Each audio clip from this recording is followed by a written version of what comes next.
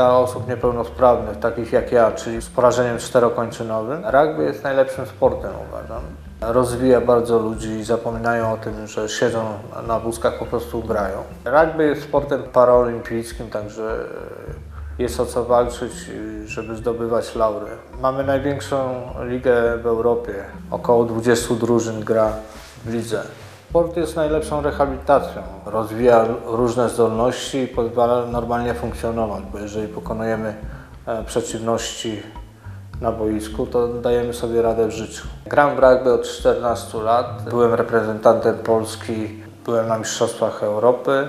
Grałem w lidze czeskiej do niedawna, około 3 lat. Gram teraz z drużyną Dragons z.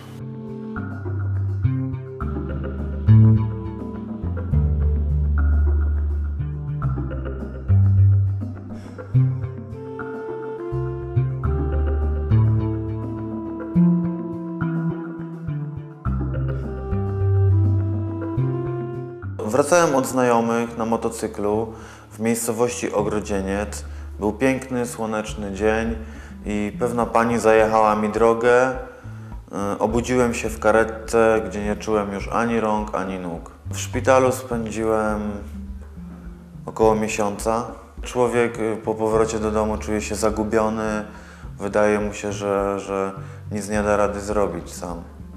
Musi liczyć całkowicie na trzecie osoby. Całe życie związany byłem ze sportem.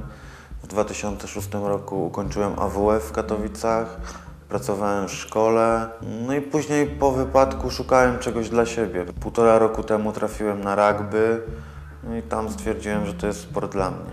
Gra w rugby daje mi przede wszystkim możliwość wyżycia się, rozładowania całych tych emocji.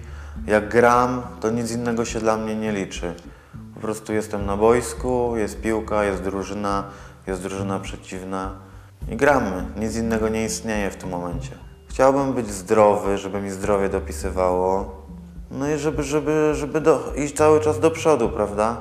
Sam po sobie widzę, że czynności, które kiedyś, nie wiem, zajmowały mi 20 minut, teraz zajmują mi 3 minuty, a myślę, że mogą mi zajmować jeszcze krócej. Mój świat jest tak jakby podzielony na dwa. Mam znajomych, którzy są na wózkach, to są znajomi po prostu, którzy też uprawiają te sporty, które ja. I mam też znajomych y, sprzed wypadku jeszcze z czasów podstawówki czy tam szkoły średniej, z którymi tak samo utrzymuję kontakt jak przed wypadkiem.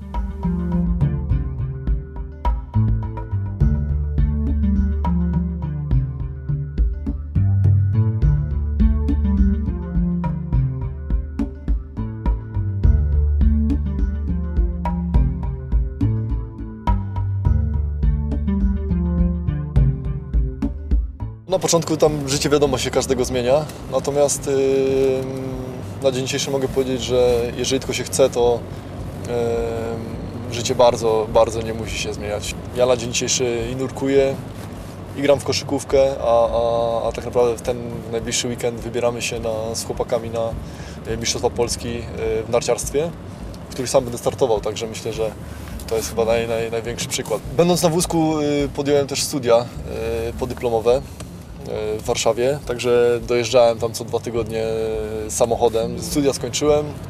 E, Na, na studiach tak naprawdę poznałem też y, moją żonę obecną. Poznaliśmy się w Warszawie i od roku jesteśmy już małżeństwem. Myślę, że teraz, y, jako że rok już pierwszy minął, a, a wszyscy naciskają w rodzinie na, na, na jakiegoś potomka, no będziemy też chcieli iść w tym kierunku, tak? Czyli postarać się no, jakieś potomstwo w tej kwestii, y, że tak powiem, y, nauka wychodzi naprzeciwko i są różne możliwości, także tutaj tego też się nie obawiamy. No i oczywiście mówimy tutaj o poczęciu naturalnym, a nie, nie o in vitro, tak? Także będziemy tak się starali to osiągnąć. Myślę, że duże szanse przed nami, bo, bo gdzieś tak naprawdę po tym wypadku zawsze o tym myślałem i szereg badań w tym kierunku sobie zawsze też wykonywałem. Uważam, że, że, że sam wypadek to nie musi być koniec. Nie powinniśmy sobie wtedy mówić, że to już jest, to już jest naprawdę wszystko, co, co mogliśmy osiągnąć. Ja staram się na co dzień nie robić e, nic mniej tak naprawdę, czego nie robiłem przed wypadkiem, a nawet powiem więcej. Staram się robić więcej, bo, bo tak naprawdę to wszystko mnie nakręca do takiego dalszego działania. Nie chciałbym, żeby, żeby gdzieś tam być kojarzony z osobą, tak jak mówię, niepełnosprawną, taką uciemiężoną, taką, która nic nie może, nic się jej nie chce i tak naprawdę teraz mi zostało już siedzenie tylko w domu, tak? Myślę, że to jest taki klucz do szczęścia tak naprawdę, nawet po wypadku, żeby się nie załamywać i, i, i robić to, co się robiło wcześniej.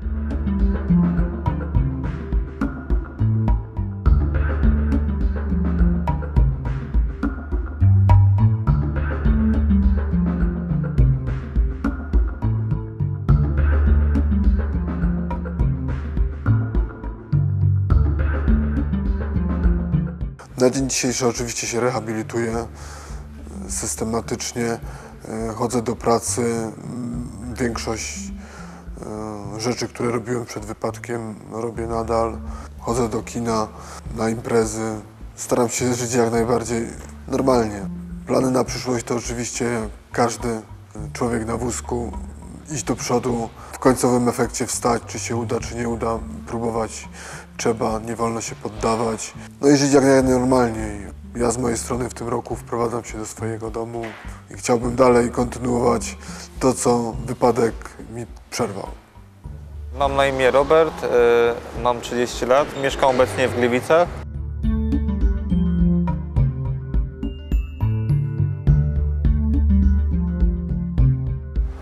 E, Od 97 roku jestem na wózku w wyniku urazu kręgosłupa poprzez skok do wody. U mnie tak, taki, takie załamanie, taka depresja trwała, no tak można powiedzieć, dwa lata. Po tych dwóch latach zacząłem bardziej oswajać się z tą myślą i poprzez kontakty właśnie z osobami na wózku zobaczyłem, że można mieć rodzinę, można funkcjonować, pracować, uczyć się, po prostu żyć normalnie. Studia prawnicze na Wydziale e, Uniwersytetu Śląskiego w Katowicach. Na początku były, były problematyczne, bo były bariery architektoniczne, bo jeszcze nie było tego nowego wydziału, także e, koledzy gdzieś tam mnie e, wciągali po tych schodach na to piętro czy na salę, żebym się dostał. To, było, to były największe problemy. Moja przygoda ze sportem, to znaczy z rugby na wózkach rozpoczęła się od, e, od właśnie pobytu w ośrodku dla niepełnosprawnych. Instruktor aktywnej rehabilitacji zaproponował, żeby taki sport uprawiać y, grupie osób. Między innymi ja byłem w tej grupie i stworzyliśmy klub y, Jeźdźcy Zborowej Wsi i od, od właściwie od 7 lat gramy w rugby na wózkach i, i osiągamy sukces, znaczy start w lidze. W Lidze Polskiej Rugby na wózkach mamy też turniej pucharowy, uczestniczymy w różnych rozgrywkach, także ta przygoda już trwa od, od kilku lat. To, że jestem niepełnosprawny, to znaczy, że jestem osobą skazaną na to, żeby być tylko w domu, na, na pomoc drugiej osoby, a przez to, że jestem samodzielny, mogę wycho- wychodzić do innych osób, e, mogę normalnie funkcjonować. Hobbym, które jeszcze co, co prawda nie rozwinąłem, ale już się w to wdrożyłem, jest nurkowanie. Mam, e, mam stopień e, płetwonurka niepełnosprawnego. Moje marzenia takie realne to jest na pewno założenie rodziny, mieć własne mieszkanie, bo teraz wynajmuję mieszkanie i są takie moje marzenia, może bardziej takie w najbliższym czasie do zrealizowania.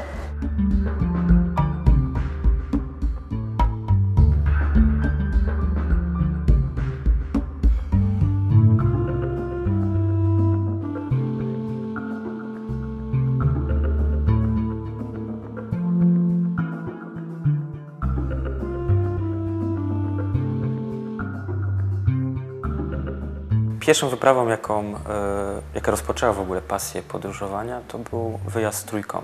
Polskie Radio organizowało w 2006 roku pierwszą edycję Wielkiego Wyścigu, gdzie mój przyjaciel w moim imieniu wysłał SMS-a do trójki. Pozwólcie mi udowodnić, e, że zrobię tę trasę, jak zabiorę ze sobą opiekuna.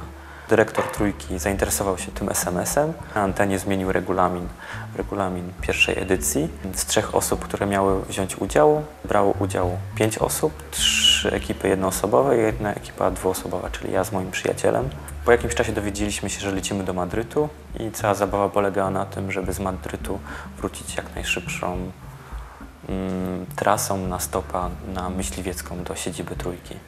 Kolejną wyprawą była wyprawa do Mongolii. To już była zaplanowana wyprawa e, 3,5 miesięczna, e, w- na której mm, celem, celem której było nakręcenie filmu o grupie nomadów mieszkających wysoko w górach w Mongolii na 2600 metrów, hodujących renifery. Ruszyliśmy koleją transsyberyjską do Mongolii, w której e, w Ulaanbaatar, stolicy, mm, zorganizowaliśmy sobie busa, którym pięć dni dojechaliśmy do miejsca, którym wynajęliśmy konie i trzy dni konno wjeżdżaliśmy do miejsca, w którym nie da się dojechać samochodem, do miejsca, gdzie, gdzie mieszkają ci, ci catani.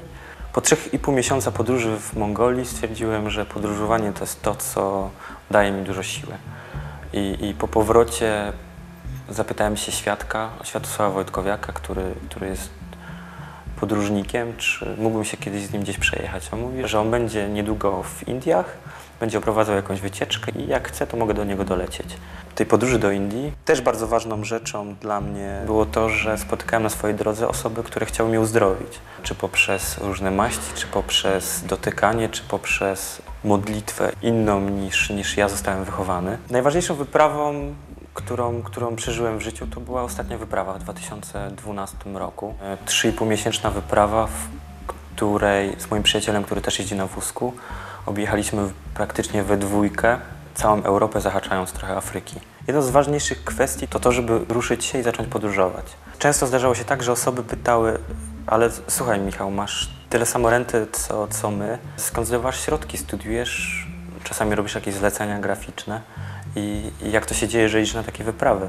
Po prostu spotkaliśmy na, na swojej drodze bardzo dużo e, dobrych osób, które nam pomogły, począwszy od przygotowania samochodu, zmontowania windy, e, oklejenia samochodu, bo mieliśmy w, w miarę dosyć dużo sponsorów, których, których chcieliśmy pokazać i odwdzięczyć się po prostu za, za nieocenioną pomoc, bo bez nich byśmy, byśmy nie ruszyli w tą podróż. Tak naprawdę te wszystkie e, wyjazdy to jest w pewnym rodzaju ucieczka od, od, od rzeczywistości, ale zarazem zauważyłem, że ta ucieczka daje na tyle mocy, że jak wróciliśmy do, do kraju, to mnie nic tutaj nie zniszczy. Mimo to, że fizycznie jestem słabszy, to psychicznie jestem tak dobrze ustawiony, że, że jestem po prostu szczęśliwy.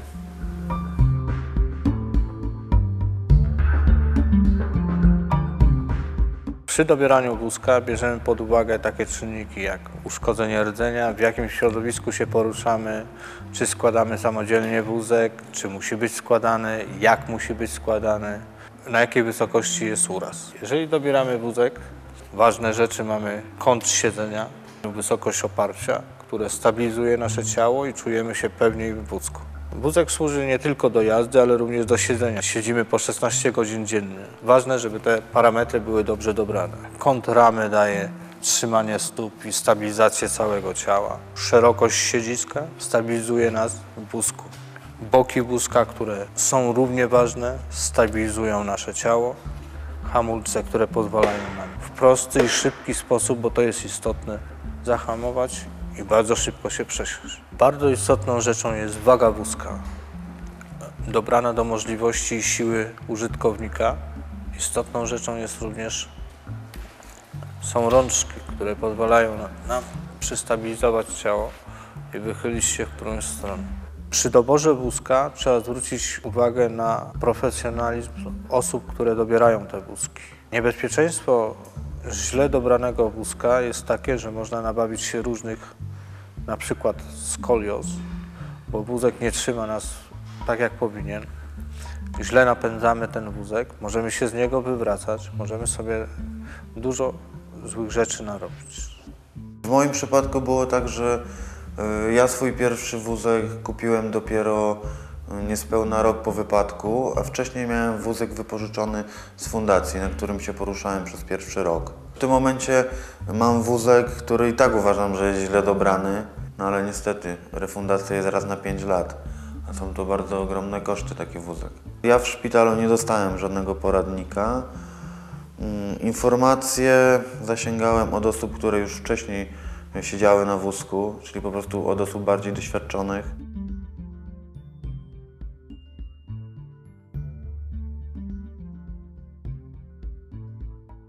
I też w sumie taką bardzo istotną rzeczą było to, że mieliśmy bardzo dobre wózki na tym, na tym wyjeździe od, od, od naszego sponsora po prostu.